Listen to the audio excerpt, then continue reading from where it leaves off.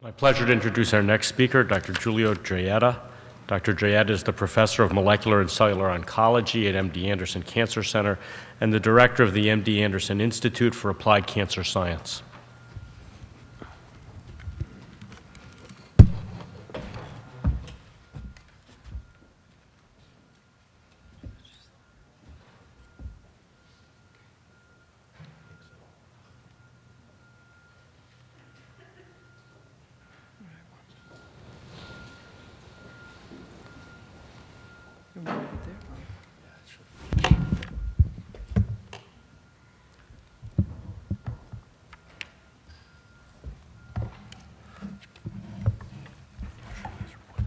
Thank you.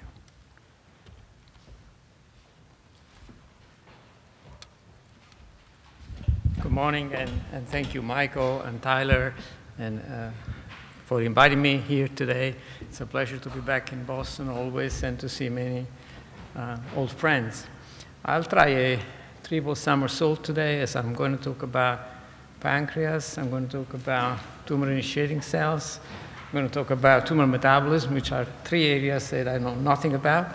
But uh, as often happens, um, you have some incredibly talented people joining your lab, and uh, um, so I'll describe the work by Andrea Viale and uh, much of the work that is taking place at the Institute of uh, Applied Cancer Science uh, in the development of a novel inhibitor of oxidative phosphorylation. So I'll tell you two, talk about two unpublished stories. Uh, before getting into that, um, I just want to reflect on a couple of things that I think were mentioned already by Michael particularly.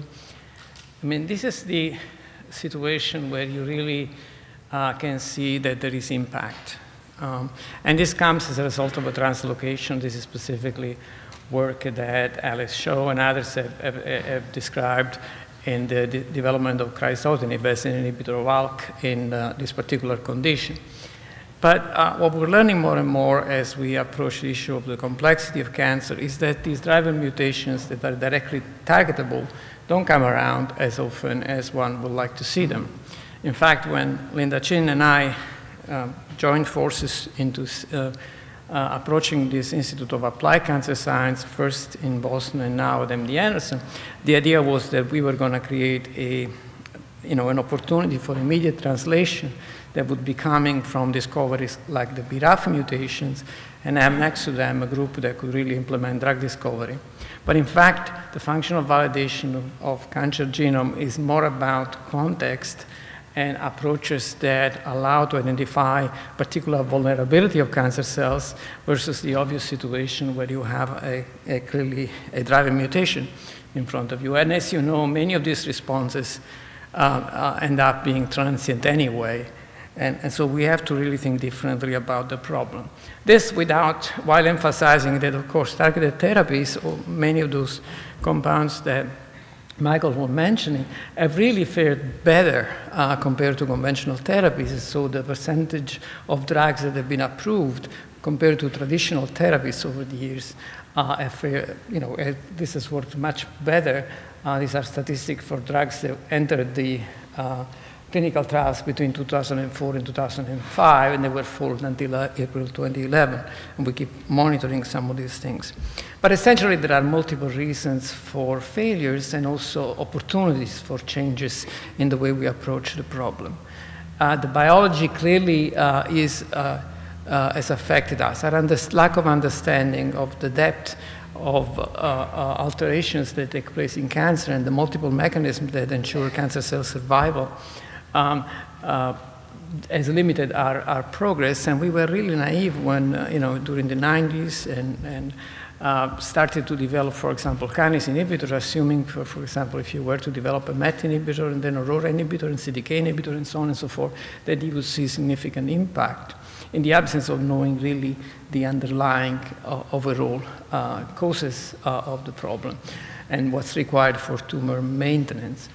Um, the, clearly, the development of the list is going to uh, help us, but most importantly, we really need to take a different approach. And many of the things that you will hear about today deal with this whole issue of targeting the tumor as a whole and really thinking about uh, um, as can, not tumors as a problem of an organ uh, in its own context as opposed to specifically looking and solely looking at the cancer cell as a, in, a, in a context of a cell autonomous um, system. And one thing that's clearly important is also this last point, the fact that the drug discovery and development uh, and so the, this whole translation uh, piece has really been sandwiched between, between the academic course that take care either of discovering uh, mechanisms or implementing clinical trials approaches. And often what has happened is that uh, scientists in industry would take some of these publications or would talk uh, with scientists at meetings and so on, and then implement their own um, pipeline of uh, drugs and diagnostic approaches, and then go back to academia, essentially testing clinicians, uh, asking clinicians in, in the various clinics at various institutions to perform clinical trials for them without really uh, uh, having kept in touch during that time to be able to really figure out what the best approach would be. And again, this becomes extremely important because this translation piece is that is very, very, is essential for success. And it requires a different level of commitment from both sides and really wanted to be stringent around the clinical pathological validation of the hypothesis and the ability to seek impact in preclinical models in a different way than what's been done in the past. Simply looking for uh, you know, impact on a simplified xenograft model, impact on growth, is not sufficient to actually warrant uh, you know, the initiation of a clinical trial. You really have to work differently. And unfortunately, what we see more and more is that you know, basic scientists continue to be solely rewarded by uh, the ability to push forward novel concepts. And of course, because you know, the next paper, once you discover that a particular phenomenon occurs and you describe it for the first time, you don't get a lot of you know, a lot of recognition in the next paper that continues to go deeper in the story, and you move on, particularly those, those labs that, that are trend setting tend not to, uh, to ignore completely the need for translational research. So there is lack of commitment from the basic research side, and there is enormous naivete from the people that normally work in industry to really put forth uh, uh, a significant effort in this direction. And just to talk about complexity today, I'll, I'll really describe uh, a, a, story that deals uh, specifically with, with, with, pancreas cancer and, and, tries to understand context in this particular situation. Um, so uh, I've talked about this. I can just probably switch to the story itself. So this is a story, as I mentioned, that was started by Andrea uh, Viale uh, at MD Anderson. And it's about, uh, it really started with uh, assessment of the impact of extinguishing RAS in tumors using one of the inducible models that have been uh, developed for uh, uh, KRAS uh, reversible in, induction. And really trying to figure out if there are cells that are left behind, how do we approach the problem? What we clearly know from, from this model, this is a model developed by Alec Kimmelman and Hao Chang Yin in, in Ron DePino's lab, um, uh, what we've started to see in this model that while there is absolute dependency for growth, so when you switch off RAS, cells uh, and tumors disappear, there is, um, after four to five months, the tumors will reappear again in the absence of RAS induction. And some of the, the tumors, of course, will have reactivated through uh, uh, genetic rearrangement, KRAS expression, but you still have tumors that reappear without RAS. So the question is, as it is in the case when we look at what's happening clinically uh, with the um, uh, clinical course of um, treatment with uh, BRAF inhibitors, if you want in melanoma or other conditions, EGFR and so on, is that um, you uh, actually see impressive responses, uh, but then tumors will reappear. And so then, the, and then you can challenge them with additional agents, as people are, are showing. I'm sure uh, it's, it's, possible that, that Neil will talk about this today. But still, the question is, what's left behind, and why are these, these cells dying? And you can advocate all sorts of biodistribution issues and possibility that all cells are reached by the, by the drug, but there could be different underlying biology, and this is the question we've been trying to ask. And what we really saw uh, uh, when we started to do this is that tumors, once you switch off RAS, um, don't completely disappear. You see that there are uh, islets of cells that uh, remain in the tumors. They don't divide, but they are sitting there and they're not dying. And these are weeks uh, and even months after treatment. And um, to be able to study this system, uh, we actually were able to establish uh, sphere-type cultures, 3D uh, cultures from the pancreas tumors, and establish this, establishing this system, then we could actually do reversible induction in vitro as well as in vivo. And so if you look, for example, at the in vitro system, you take these uh, uh, tumors out of uh, the mouse and you grow them in the presence of doxycycline, so RAS is activated. They grow uh, up to uh, reaching uh, a, a, sphere of about 400 cells.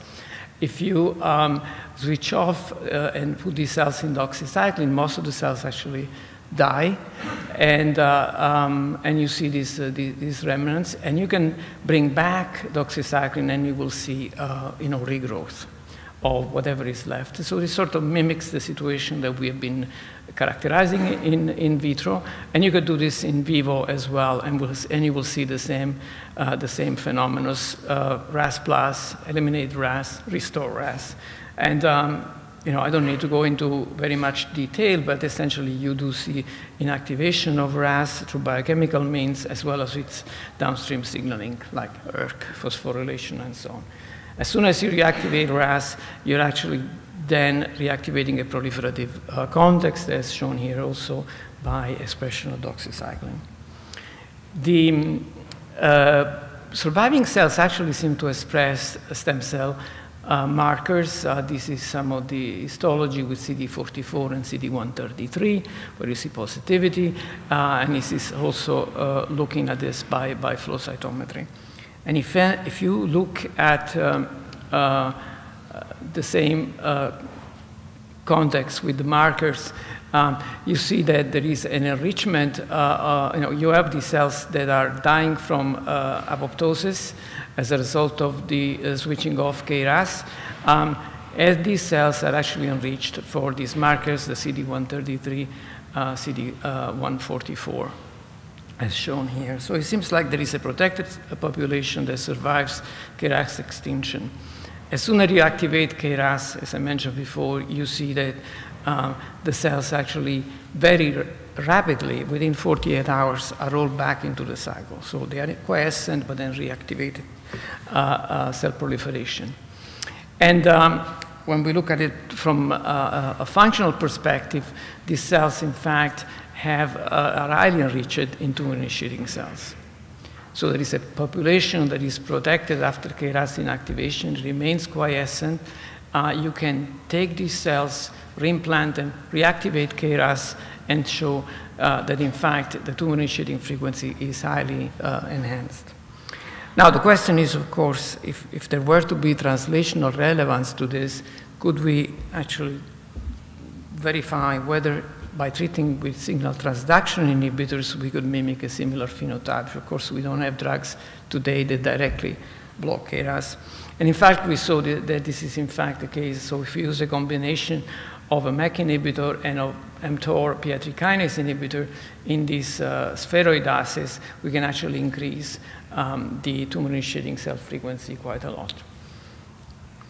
Um, and so what I've shown you thus far is that a subset of cells with features of tumor-initiating cells seem to be able to survive the ablation, either genetically or chemically induced of oncogenic pathways. So this is really what started us then in trying to understand what's going on in these cells and how are they able to survive. And uh, by performing gene expression profiles of the two populations, again, I, I would point out that these populations that we analyze are actually quiescent. So we take the fully formed spheres from the KRAS, uh, uh, you know, the tumors grown in presence of, of KRAS, uh, and compare them to the remnants that are surviving in the absence of KRAS. So there is no impact of any cell cycle um, differential mechanisms. And when we compare these, we see that there is an enrichment in electron transfer chain, bed oxidation, and lysosome and autophagy. And uh, this is at the level of uh, microarrays. Here is some of the validation with, uh, with uh, PCR. And we also see, for example, that uh, um, mitochondrial regulators like PGC1 alpha are upregulated compared to the KRAS cells. Um, there is a long list of, of, uh, of, of, genes that come up as a result of this, again, from electron transfer chain regulation, mitochondria, and autophagy.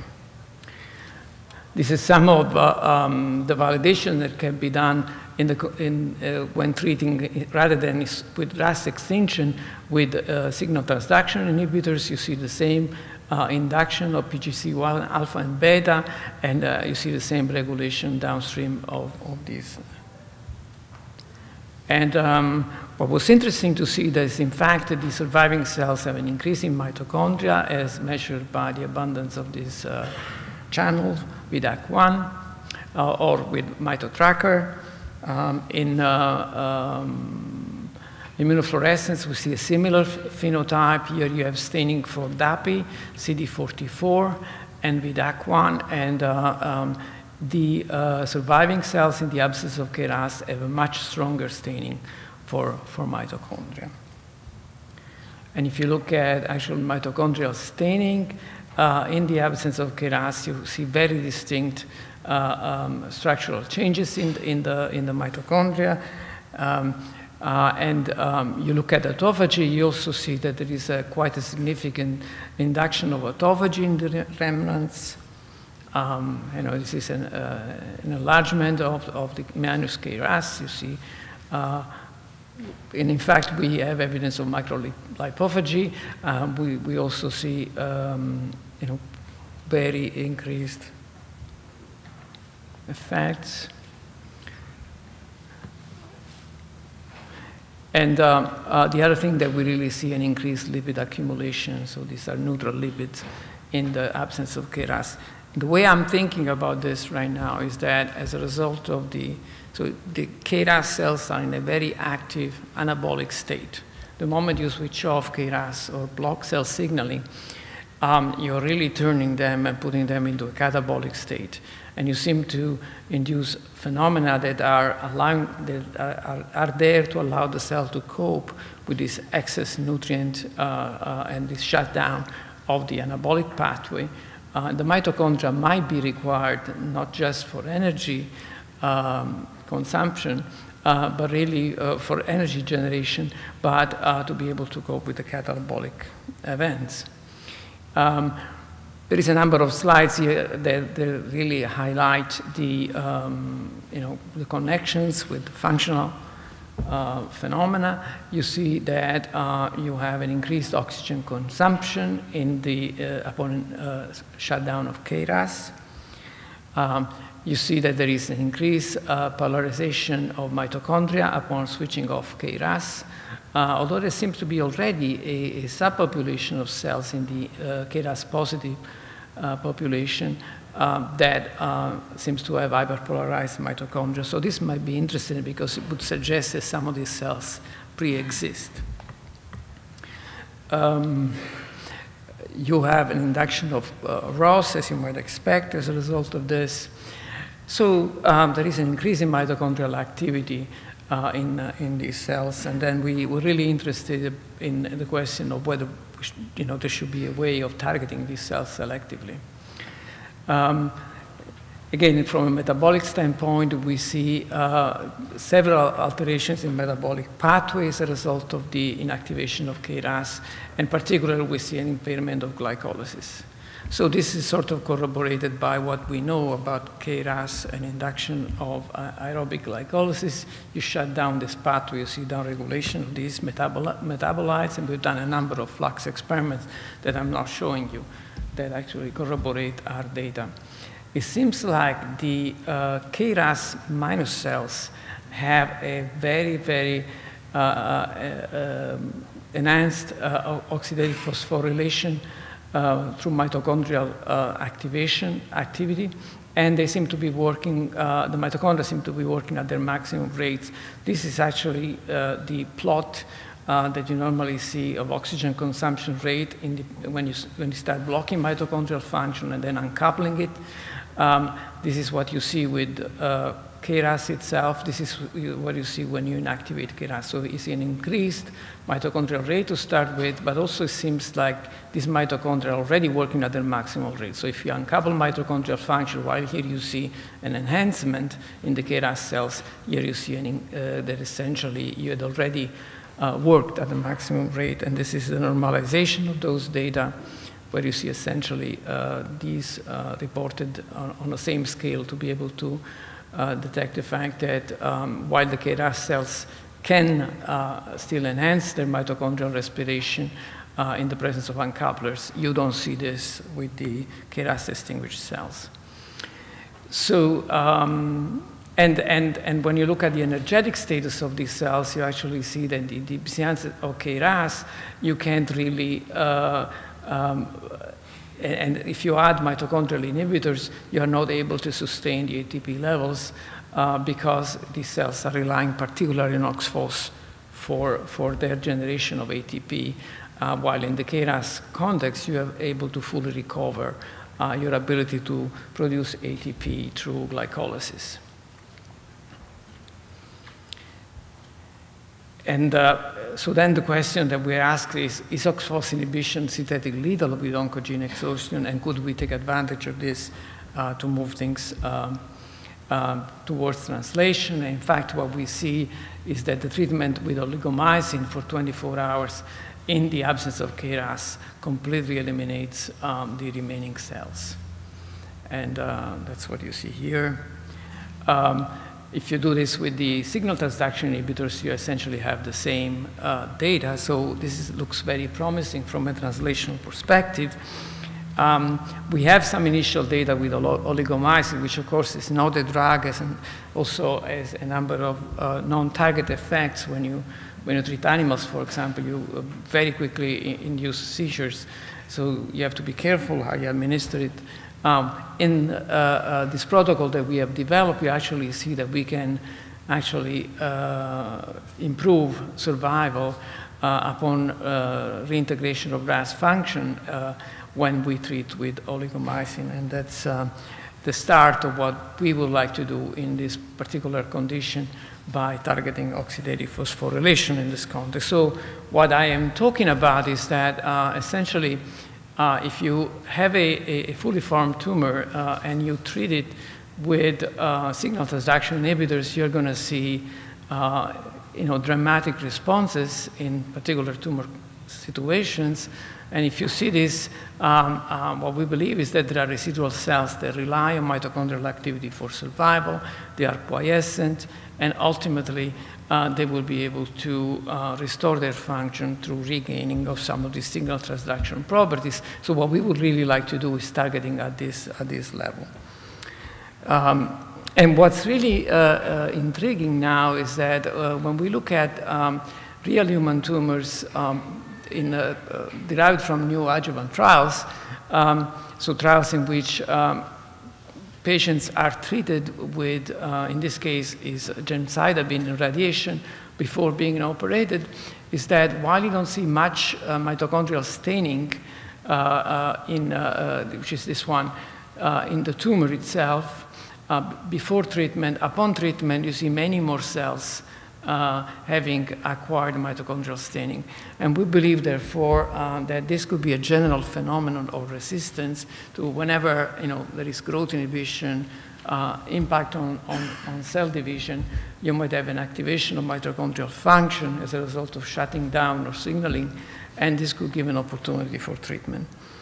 In the remaining few minutes, I uh, just want to show you that we indeed have an oxidative phosphorylation inhibitor, started a a project um, on uh, actually trying to discover inhibitors of IF1 signaling through a cell phenotypic assay. And uh, in, in, doing so, we were able to identify inhibitors that are potent, potently, potent blockers of mitochondrial uh, function. Uh, in fact, these inhibitors do uh, exert impact on HIF, but there is, as a result of decreased oxygen consumption in the tumor, uh, you do see that, that hypoxia is reduced. Um, is in fact something that impacts um, um, oxidative phosphorylation because if you grow cells in galactose, uh, you will see that there is a dramatic sensitivity to the inhibitors. And we actually were able to do through mass spectrometry identify a physical interaction of these components with the, with the mitochondria. Um, they have activity in, uh, in, in vivo, and uh, this is, for example, one of the experiments uh, with, with one particular compound that we have identified where we see a clear impact on, on tumor growth, and uh, um, where we have uh, impact in vivo on hypoxia and HIF1 alpha that gets decreased as a result of treatment. Um, and we also notice a, a, context of synthetic lethality in cells that have, uh, uh, and tumors, cells that are derived from tumors that carry uh, uh inactivation of enzymes of the glycolytic pathway. This is a, uh, in particular, is an enolase deficient um, model uh, or a PGD deficient model. And when we treat these models with inhibitors, we see very clear um, induction of apoptosis and in vivo, uh, we see dramatic tumor regression. So um, um, the same applies to situations where you have uh, a highly hypoxic context. We see this in, uh, in, uh, in leukemia. This is a collaboration with our leukemia group at MD Anderson, where we see that um, while uh, you know, normal uh, CD34 cells are not significantly affected by the inhibitors, we see incredible uh, impact in terms of uh, reduction of proliferation and induction of apoptosis in the, uh, in the blasts. And uh, um, in, in fact, so we're thinking about multiple opportunities here, uh, again, in the context of really wanting to apply these agents in, uh, uh, to tumors that uh, reveal themselves as being hypersensitive to mitochondrial inhibition. You can think about tumors with glycolysis deficiency. You can think about the combination with chemo and or the PI3 kinase MEK inhibitors that I described before, the leukemias and lymphomas in which you have a highly um, hypoxic phenotype with, uh, with overexpression of IF1 alpha, uh, the definition and linked to particular uh, genetic alterations. And uh, as well as something I didn't show you, we also have data in combination with ra radiotherapy. It all goes back to this concept of synthetic lethality uh, and, and, uh, and, and, uh, and, the importance of understanding the physiopathology of tumors. you know, I clearly do believe, like everybody else about the importance of the genetics. But again, this has to be brought back into the context of the kind of things that Bob, Bob and Steve before me were talking about when looking at the tumor as, a, as an ecosystem uh, of its own, in its own merit. Um, just to talk about the, the, team, this is my own laboratory that's worked on, on this uh, project. These are our collaborators, collaborator, collaborators in the pancreas uh, um, cancer disease team. Uh, Tim Heffernan has been my collaborator for years in, uh, in developing functional genomic screen. Alec uh, um, has been a, a, the guy that developed this model, and we stayed in collaboration. The work, all of the metabolism work has been done in collaboration with Kostas Lysiotis in, in Luke Handley's lab, and uh, of course, Ron uh, is, is, a dear friend and collaborator as well. And the OxPhos project was actually led by Joe Marsalek and Emilia Di Francesco at MD Anderson. Thanks very much.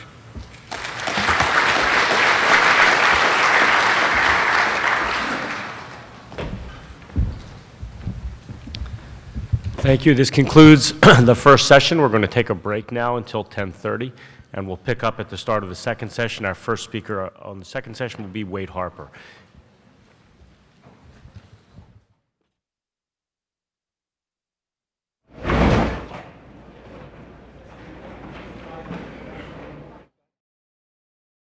Our next speaker is Dr. Steve Gee.